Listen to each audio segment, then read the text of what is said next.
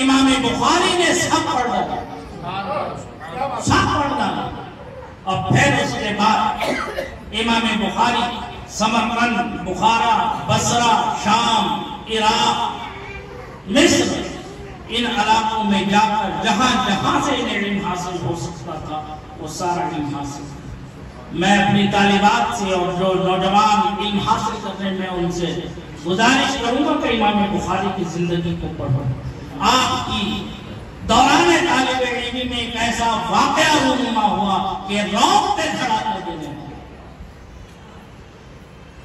उस्ताद गिरामी, के यहाँ जब आप सबक पढ़ने जाते थे तो कुत हाफजा बला का था। अपने असादा की भी तस्वीर कर देते थे।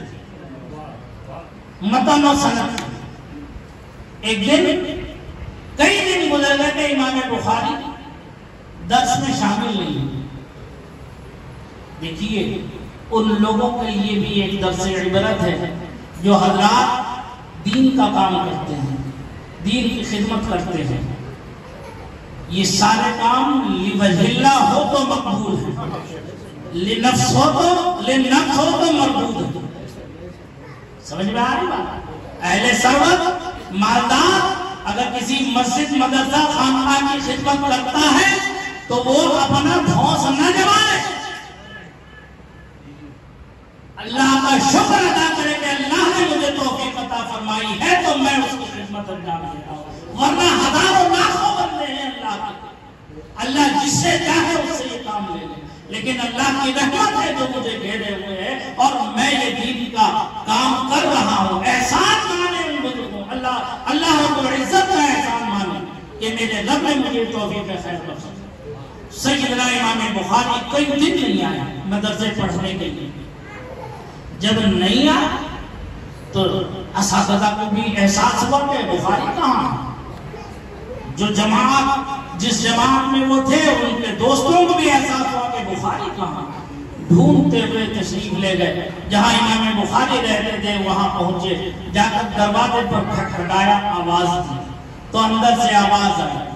इमाम बुखारी से पूछा कि मदरसे क्यों नहीं आना हो रहा दर्स में क्यों नहीं शामिल हो रहे एक सर्द आह होती हज़रत इमाम बुखारी। कैसी गैरतमंदी की ज़िंदगी उन्होंने गुजारी। अल्लाह हमें भी ऐसे ही बागैरत बेगैरत ना बना दे हाँ बागैरत रखे अल्लाह ताला इमाम बुखारी की सुन्नत पर अमल करने वाला बना। दे फरमाते हैं कई दिन मुझ पर गुजर गए फातवे के। नौबत जागनी की आ गई कूते नायमून का हासिल करना इतना कि जिससे खाकर अपनी ज़िंदगी बचा ले, ये फ़र्ज़ है। लिहाजा मेरे पास कुछ ना बचा था, सिर्फ़ जो तन पर मेरे कपड़े थे, वो कपड़े बचे थे मेरे पास। अल्लाह की कसम, मैंने वो कपड़े बेच करके अपनी लिए चंद खाना खरीद लिया है। मैं बरहना हूँ। जिसम पर कोई कपड़ा नहीं है। मैं कैसे तकड़ा हाथ हो सकता हूँ? कैसी ज़िंदगी गुजारी सी इब्राहिम में बुखारी फरमाते हैं कि मैं बरहना हूँ। मेरे तन पर कपड़ा नहीं है। मैं कैसे हाजिर हो अब हाँ दोस्तों के दिल पर एक तीर सा चल गए हरा गए आपस में सबने मिलकर अपने आपस में चंदा किया। चंदा करके इमाम बुखारी के लिए कपड़े खरीदे। और वो कपड़े खरीद कर इमाम बुखारी को पहनाया और अपने साथ दबदा लेकर के आए। जहाँ इमाम बुखारी का ये पूरी उम्मत पर एहसान है, बुखारी लिखकर इमाम बुखारी के इल्म में मदद करने वालों का भी है। अल्लाह उस जमात को हमेशा और उनके सदक़े हमें भी सुरकुरू रखे वो जज्बे, खैर सिनाई हमें भी आपस में खुलूस मोहब्बत का वो जज्बा, एक दूसरे की इज़्ज़त और अजमत का वो जज्बा अल्लाह हमें भी अता दुनिया दो दिन की जिंदगानी देखो इमाम बुखारी ने कैसी ज़िंदगी पाई। उनके तमाम दोस्तों ने चंदा करके इमाम बुखारी को कपड़े पहना कर दरसगाह में लाए। और जब इमाम बुखारी पढ़कर फारिग हो गए तो फिर उसके बाद उन्होंने दर्श हदीस की क्षमा रोशन फरमाई। और ऐसी क्षमा रोशन फरमाई, ऐसी क्षमा रोशन फरमाई कि तकरीबन 11 सदियाँ बीत चुकी ग्यारह सदियाँ, ग्यारह सौ साल का अरसा बीत चुका। आज भी पूरी कायनात के अंदर हदीस का ये फैजान आम ताम जारी वो सैदना इमाम बुखारी रज़ी अल्लाह जहाँ इन फाका मस्ती की ज़िंदगी में गुजारी अपनी ज़िंदगी को कभी कभी पेड़ के पत्ते खाकर, घास खाकर के अपने वक्त को गुजार करके मदीना हासिल आज हमारी ये तालिबात हो, या मदरसे में पढ़ने वाले तलबा हो, उन्हें कौम का भी एहसान मानना चाहिए कि कौम के जियालों ने मदरसा मस्जिदों की कमेटियाँ ने इंतजामिया ने अपनी आना को कुर्बान करके, अपनी जान को कुर्बान करके, कौम से भीख मांग मांग के ला करके मदरसे का इंतज़ाम कर रहे हैं और पढ़ने के लिए हमें मौका नसीब कर रहे इमाम बुखारी ने तारीख में आता कि घास खा के भी अपने वक्त को गुजारा कई कई दिन का फाका गुजार के गुजारा है, इल्म हासिल किया है। तो वो इमाम बुखारी जहाँ इन मुश्किल से गुजरे वहाँ उन्हें अपनों ने भी सताने में कोई कमी नहीं की ये असलाम की सुन्नत लगती है हमें कि मुआसराना चश्मा हर जमाने में रही हसद हर जमाने में रहा। तासुब और तंग नजरी हर जमाने में रही इमाम बुखारी रहमतुल्लाह ताला अलैह के जब दर्स का शोहरा हुआ, हज़ार हाफिज नदाने उलूम आपकी खिदमत में हाजिर होते और इनमें हदीस हासिल करने में लग जाते। आठ सौ तलबा की तादाद बाद मुफसरी ने बयान की और हज़ार हाँ हैं जिनकी तादाद का कोई शुमार ही नहीं कर सकते। तो समरकंद, में जब आपका इमाम ने पेश आया तो मुहासिदीन हासिदीन ने आपको वहाँ रुकने नहीं वहाँ से आगे बढ़ दूसरी जगह सफ़र इख्तियार किया। वहाँ रुकने नहीं दिया। वहाँ से आप आगे बढ़ गए।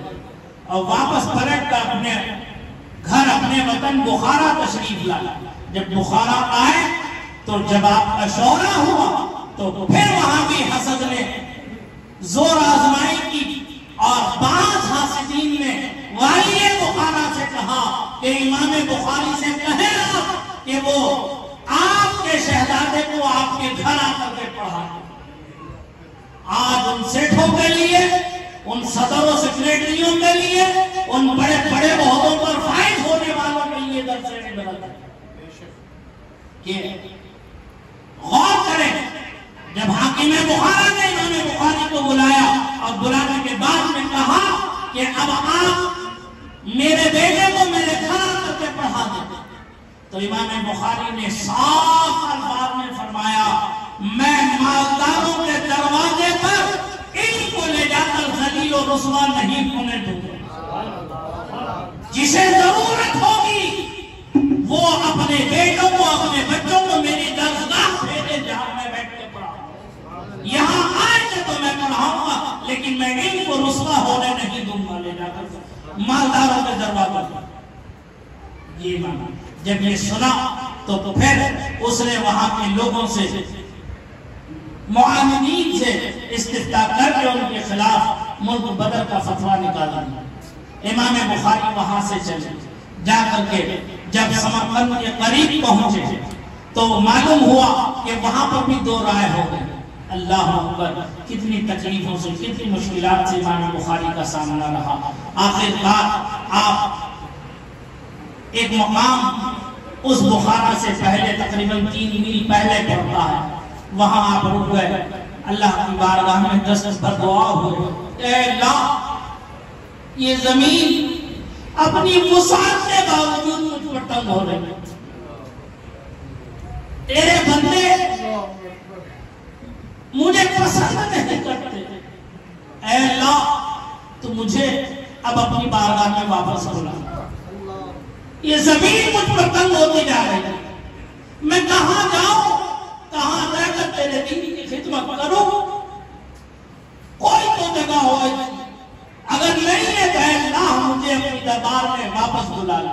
मुझे अब यहाँ रहना नहीं। बस इमाम बुखारी की दुआ थी, अल्लाह ने कबूल फरमाई। वही बीमार हो गए। बिस्तर पर आ गए। समरकंद के लोग दौड़े चले आए। आकर इमाम बुखारी से कहा कि चले, हमारे यहाँ आ जाए, आप यहाँ न रुके। आपने फरमाया जोफ नकाहत इतनी है कि मैं सफ़र नहीं कर सकता। आपने उनसे रुखसत होकर करवट ली, अल्लाह की बारगाह में दुआ की, कुछ पढ़ा और इस जान जाने आफरी के सुफर यकुम शव्वाल सन दो सौ छप्पन हिजरी में आपका विशाल मुबारक हो गया। वो इमाम बुखारी, रहमतुल्लाह ताला फरमाते मैंने जो बुखारी लिखी है, हर हदीस के लिखने से पहले मैं गुस्से करता और दो रकात नमाज़ नफल अदा करता था। और फिर सरकार के मुआजह शरीफ की तरफ़ रुख करके बैठता और सरकार की इजाज़त हासिल करके मैं बुखारी शरीफ ये हदीस छह लाख हदीसों में से मैंने ये इंतखाब किया है, जो मेरे यहाँ सही है। उन अहादीस मुबारक को मैंने इसमें जमा किया। वो सैयदा इमाम बुखारी अलैह ने जब बुखारी शरीफ शुरू की है तो बुखारी के शुरू में जो हदीस पाक लाए हैं, वो लाए हैं इन नमल आमालु बिन्नियात। यहाँ ये बताना चाहते हैं इमाम बुखारी अलैह, सुबह कयामत तक रहती दुनिया के लोगों ए अल्लाह के बंदो ए तालिबान नबविया जब मेरी बुखारी पढ़ो तो खालिस नीयत के साथ इखलास नीयत के साथ पढ़ना मेरी बुखारी। मेरी बुखारी को खुलूस के बगैर ना पढ़ना। खुलूस के साथ नेक नियति के साथ मेरी बुखारी पढ़ना। और फिर जो आखिर में हदीस पाक लेकर के आया वो भी ऐसी प्यारी हदीस। ऐसी प्यारी हदीस लाए हैं कि अल्लाह अकबर कबीरा हाँ? हदीस बात में फरमाया गया है, जिसके अल्फाज आखिरी अल्फाज तस्बीह और हमद पर खत्म होते हैं, वो अल्लाह की बारगाह में मकबूल मकबूल है। तो इमाम बुखारी इसमें भी कितनी एहतियात कर रहे हैं? अपनी तरफ़ से कोई लफ्ज ना ला करके, सैयदुल हामिदीन सैयदुल मुरसलीन आकाए कायनात मुजस्सम सल्लल्लाहु तआला अलैहि वसल्लम की ज़बान फैसल जमान से जो अल्फाज अदा हुए, उन्हीं अल्फाज को लेकर के आए हैं वो क्या है? सुबहानल्लाह व बिहम्दिही सुबहानल्लाह। ये वो अल्फाज मुबारक हैं जिसके लिए फरमाया गया है कि जो रोज़ाना सौ मरतबा इन अल्फाज, इन इन कलिमात को पढ़ेगा अल्लाह के रसूल फरमाते हैं, अगर के समंदर के झाग बराबर उसके गुनाह हो अल्लाह ताला उसके गुनाहों को माफ़ वो मुबारक कलिमात जो इमाम बुखारी लेकर के आए हैं। अब इसमें जो आखिरी बात इमाम बुखारी अपनी शान के मुताबिक जो उनका मिजाज है कि जब कोई बाप बांधते हैं तो उस बाप की मुनासबत से कोई आयत करीमा ज़रूर लाता और फिर उसके बाद हदीस रसूल को पेश करके फिर उससे हासिल होने वाला कलाम अपनी तरफ़ से शामिल फरमाना। तो यहाँ पर भी आखिरी बाप जो है, फरमाया गया, बाबू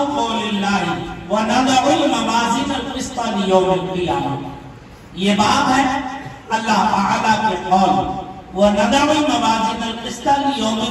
के बयान क्या है? वो अन्ना बनी आदम व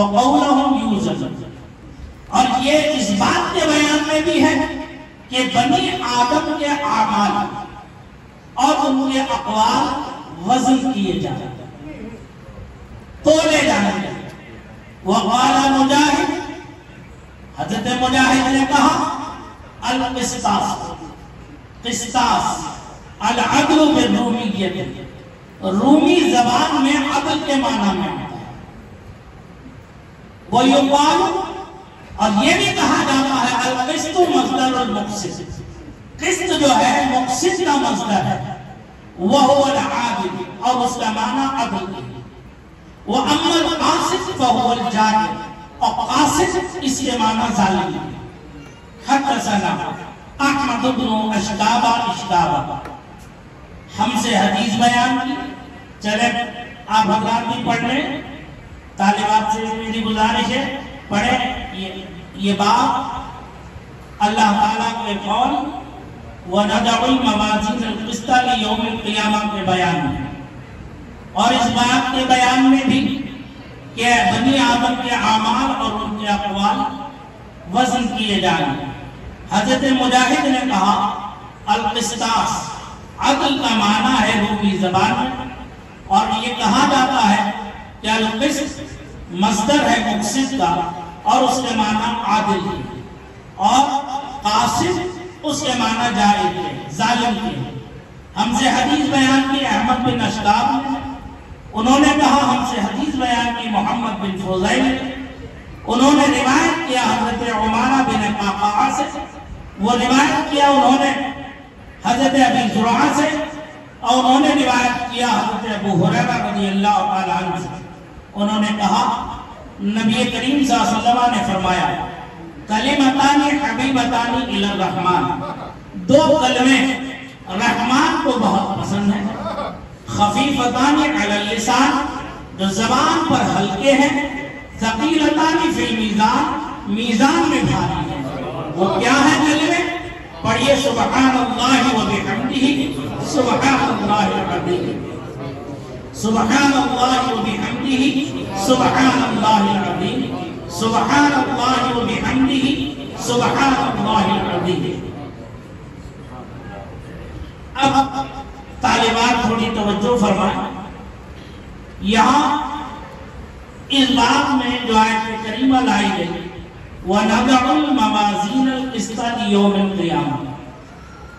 मवाजीन जो है ये मीज़ान की जमा है मवाजीन मीज़ान की जमा है और इसका मादा है वज़न इमाम ताला अलैह फरमाते हैं शय की मिकदार की मारिफत का असूल वज़न कहा जाता है यानी शय की जो मिकदार है, उसकी मार्फत हासिल हो जाए वही वज़न और मीजान किसे कहते हैं? मीजान तराजू को कहते हैं। तराजू, यानी जिसके दो पलड़े हों, पुरानी जबान में उर्दू की, आज की जबान में बल्ले हो उसमें एक डंडी होती है, जो उन पल्लों को बांधी हुई होती है, और उस डंडी के बीच में एक सुराख होता है।